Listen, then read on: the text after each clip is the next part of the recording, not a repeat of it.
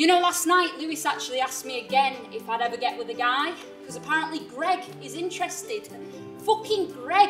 Greg had mayonnaise on his top lip for four hours the other night. mayonnaise just sat crusting on his hipster moustache. So that's the sort of level we're talking about. Fucking Greg.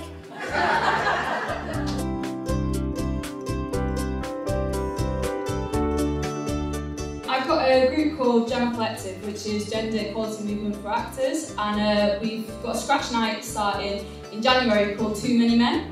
Too many. Too many. uh, yeah, so that's on the 17th of January, and it's a night to promote female writing, female creatives, uh, and uh, yeah, and we welcome everyone now, and it's going to be a bit of a networking thing, and that's at the Actors Centre.